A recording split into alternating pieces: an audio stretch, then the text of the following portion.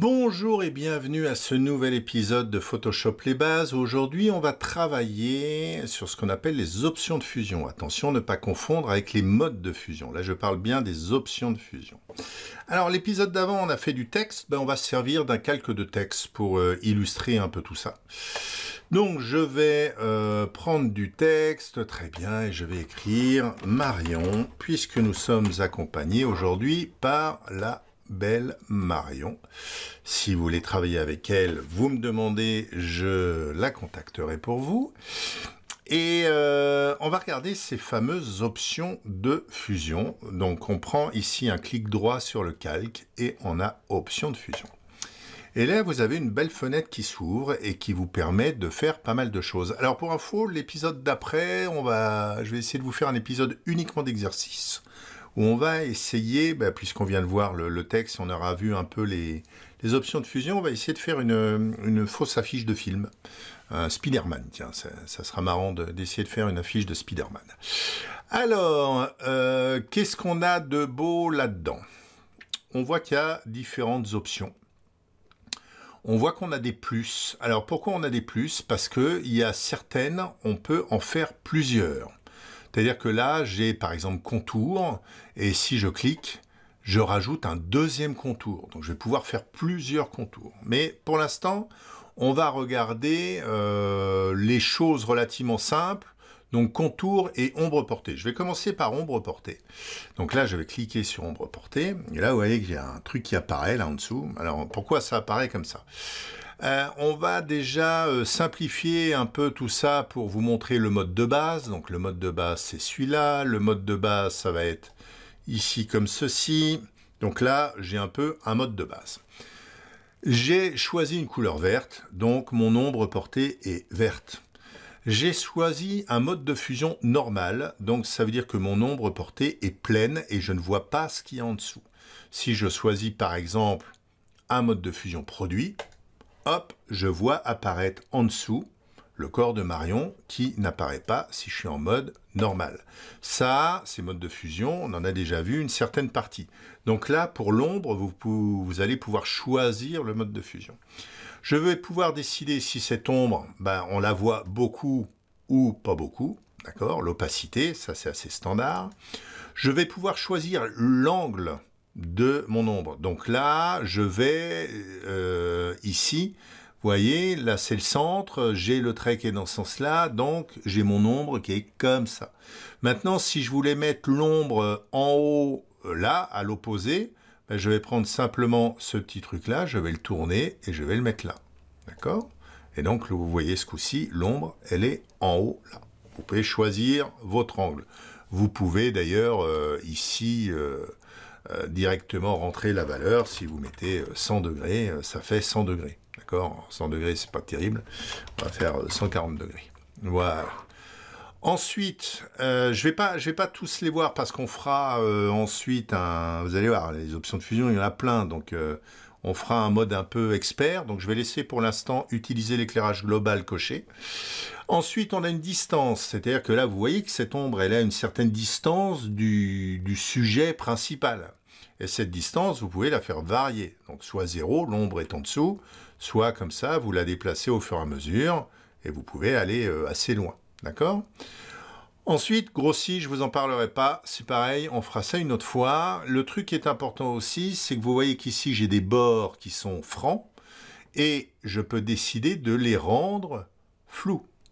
D'accord? Donc là, ça fait plus comme une espèce de halo, euh, plutôt qu'une ombre complètement, euh, complètement pleine. Et ensuite, je peux aussi dessiner comment va réagir ce flou-là. Vous voyez que là, si je fais un flou, le flou, bon, bah, ça va de net vers flou. Pourquoi ça va de net vers flou? Parce que j'ai choisi ici un contour qui est simplement une ligne droite. Mais je peux ici choisir d'autres contours. Donc je peux par exemple choisir un contour comme ceci.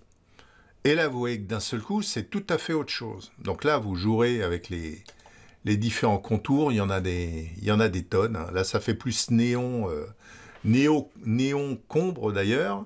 Mais donc, vous voyez qu'on peut aller assez loin avec ce truc-là. Je, là, je vais aller dans le mode normal. Lisser ou pas lisser, Euh, honnêtement, j'ai pas regardé encore ça, donc on va dire qu'on regardera le jour où on fait quelque chose d'un peu plus expert sur les options de fusion. Et je peux rajouter du bruit. Voilà, je rajoute du bruit ici sur mon ombre. Donc vous voyez que rien qu'avec l'ombre là déjà, on a pu faire pas mal de choses. Alors l'autre chose qu'on va regarder, qui est assez euh, simple, c'est euh, le contour. Donc le contour, je clique sur contour, et là vous voyez que j'ai un, petit contour qui vient d'apparaître autour. Vous pouvez choisir la taille de votre contour, d'accord? Donc là vous voyez c'est un contour de couleur noire. Alors je vais changer la couleur, je vais prendre une couleur, euh, bah, on va prendre rouge, tiens. Allez, je vais prendre un contour de couleur rouge. Oula, oula, oula, ça c'est pas beau du tout. Euh, ça c'est pas terrible non plus. Allez, on va prendre un, contour un peu comme ça.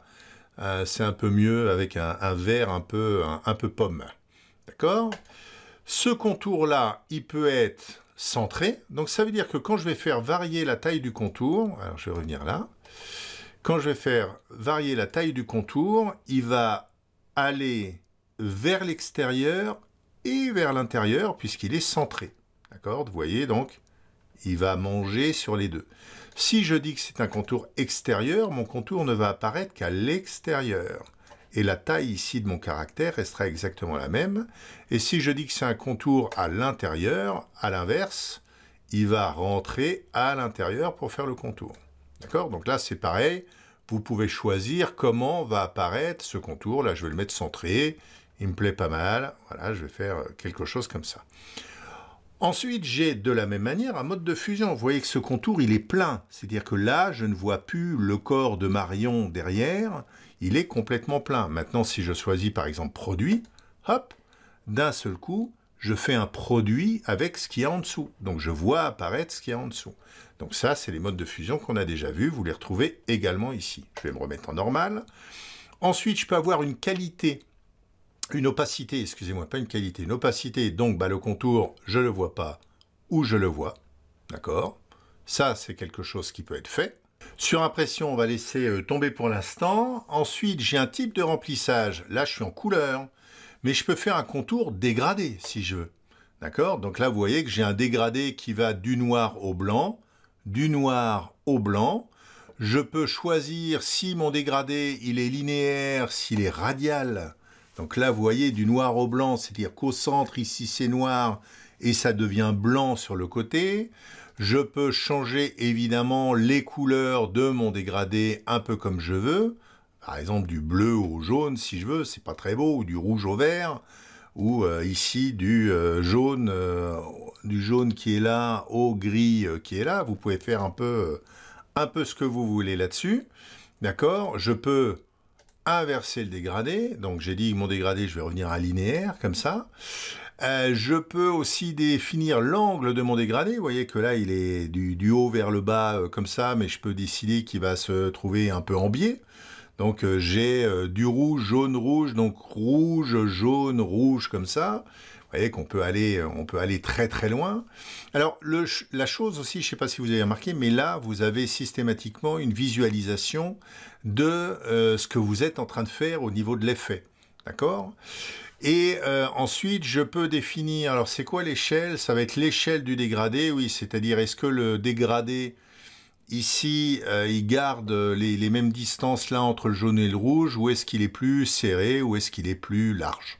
D'accord? Donc là, euh, on a pas mal de choses. Je ne vais pas parler du tramage, je ne vais pas parler de réinitialiser l'alignement pour l'instant. On va rester sur des choses relativement euh, simples. la dernière chose qui est intéressante, c'est que vous pouvez aussi, par exemple, définir votre dégradé. C'est-à-dire que on peut soit ici sélectionner dans un truc euh, prévu à cet effet, mais si vous cliquez directement sur la zone, vous avez ici les paramètres prédéfinis, vous pouvez faire de nouveaux dégradés, vous pouvez donner un nom à ce dégradé, vous pouvez choisir les couleurs de partout. Donc là, par exemple, je pourrais décider que je ne veux pas cette couleur-là, mais je veux un bleu. Voilà. Et vous voyez que d'un seul coup, j'ai bleu, jaune, rouge. Donc vous pouvez faire vraiment comme vous voulez. On fera sûrement un épisode sur comment définir un dégradé parce que c'est des choses qu'on peut euh, faire un peu partout. Mais là, on va déjà être, à mon avis, dans les 10 minutes. Et en 10 minutes, on n'a vu que deux choses. on a vu l'ombre portée qui était ici. Vous voyez qu'on peut donc superposer les options. Donc là, par exemple, je viens de superposer une ombre portée et un contour. Donc on a vu l'ombre portée, la couleur, le mode de fusion, l'opacité, l'angle de l'ombre. Euh, est-ce que le bord il est flou ou pas? Euh, Comment ce flou s'applique? On a vu ici qu'on avait des formes, et donc pour le contour, ben, euh, la taille du contour, on peut donc, vous voyez là, là changer dans tous les sens, on peut faire des trucs très très moches. Hein la position, on a vu le mode de fusion, on a vu l'opacité, on a vu qu'on pouvait choisir dégradé couleur. On a aussi motif. C'est-à-dire que là, par exemple, je peux choisir un motif qui est... Euh, alors, je ne sais pas, il y a des motifs tout faits, là. Une espèce de bruit, comme ça. Donc là, j'ai choisi un motif qui est une espèce de bruit. Et euh, on va s'arrêter là pour aujourd'hui. Alors, si vous voulez, vous, vous amuser, bah, n'hésitez pas à aller en, aller en voir d'autres. Hein. Euh, c'est-à-dire que vous verrez que celui-là, ça fait euh, plus ou moins des, espèces de trucs en 3D. Euh, vous verrez que l'ombre interne, bah, ça vous fait une ombre à l'intérieur des caractères. On verra des choses comme lueur interne. Euh, là, ça donne pas d'effet, mais ça vous fait une lueur à l'intérieur des caractères. Alors là, je parle de caractères, mais on va, on va créer un nouveau calque. D'accord Ce calque-là, je vais aller euh, prendre euh, ici un outil de sélection, je vais faire un rond et je vais faire édition, remplir et je vais le remplir en euh, couleur de premier plan. Très bien, voilà, donc là j'ai un rond. Je vais arrêter ma sélection en faisant CTRL D ou sélection ici, désélectionner, d'accord Et là je vais faire un clic droit et je vais faire option de fusion. D'accord Et là, je vais rajouter par exemple une ombre portée. Et vous voyez que j'ai mon ombre portée que j'avais fait euh, avant, là. Alors là, je vais prendre une ombre portée euh, noire. Euh, très bien. Je vais prendre ici un, truc standard et je vais descendre un peu l'opacité. Vous voyez que je viens de faire une ombre portée sur quelque chose qui n'est pas du texte. Hein. Donc ça va s'appliquer systématiquement à ce que vous avez sur le calque. OK? Bon, on s'arrête là alors, je, sens que vous allez être frustré en disant, mais on n'a vu que ça aujourd'hui. Oui, mais on est déjà pas loin de 15 minutes. Et ça va suffire pour faire un petit épisode d'exercice marrant, euh, puisque vous aimez les exercices. Alors, avant de faire un exercice complet sur cette affiche de cinéma, ben, je vous propose de faire euh, deux petits exercices de base sur cette nouvelle fonction. Donc le premier exercice, euh, c'est simple, vous allez écrire 4, euh, la couleur que vous voulez, les couleurs n'ont pas forcément euh, d'importance. Et je veux que, en appliquant simplement des options de fusion, vous arriviez à faire ça. Donc qu'est-ce que vous remarquez? Vous remarquez que bah, le 4 disparaît au fur et à mesure, puis on peut voir aussi que les bords ici sont plus ou moins flous au fur et à mesure. Bah, écoutez, je vous laisse bosser. On revient pour la correction. Donc, euh, qu'est-ce qu'il y a là-dedans? Parce que on a ici, on voit qu'on a trois ondes de fusion. Et je vous ai dit qu'on pouvait mettre, copier plusieurs fois les effets. Et c'est ce qui a été fait là. Donc si je fais ici et que je vais regarder ce que j'ai ici dans ce calque-là, vous voyez que j'ai trois ombres portées. D'accord? Donc la première ombre portée, on va aller vers là-haut. La première ombre portée a une opacité de 80, d'accord? Elle a un bord flou de 10 pixels et elle est éloignée de 200 pixels à 180 degrés par rapport au 4 qui est là. Donc ça la décale vers là.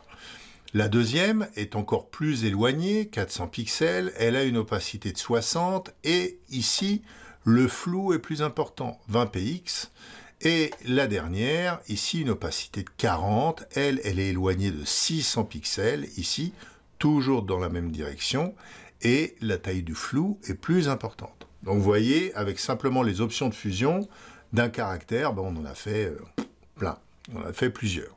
Donc ça, c'est pas trop compliqué à faire. On va faire un deuxième exercice sur le contour. Donc pour cet exercice, on part toujours sur notre 4 et on va euh, essayer de faire ça. À vous de jouer. Bon, vous y êtes arrivé ou pas? Alors, euh, qu'est-ce qu'on voit? On voit qu'on a un premier contour ici, qui est un contour euh, espèce de rouge assez plein. On voit qu'on a un deuxième contour ici, qui est un contour avec un dégradé, a priori euh, circulaire. Et en dessous, là, ben, c'est simplement une ombre portée. Simplement, cette ombre portée est portée très très floue. Donc on va aller voir ça, option de fusion. Donc on voit qu'on a un premier contour qui est le contour rouge, voyez, avec une épaisseur de 8 pixels. Il est en extérieur, donc il va à l'extérieur du caractère, mode de fusion normal. On a un deuxième contour qui lui fait 35 pixels, qui est en position aussi extérieure, il va vers l'extérieur, opacité 100% et il est dans un dégradé et j'ai choisi ce dégradé là qui est un dégradé euh, a priori euh, préexistant dans votre Photoshop. Et puis euh, ensuite, j'ai une ombre portée ici, et cette ombre portée, vous voyez que elle a 147 pixels ici, donc ça veut dire qu'elle est très floue, d'accord, tout simplement, et c'est ça qui fait cette espèce de halo sombre sur le côté. Et ben voilà, c'est tout pour aujourd'hui. On se retrouve pour un épisode un peu plus marrant où on va faire un exercice complet. Merci, au revoir.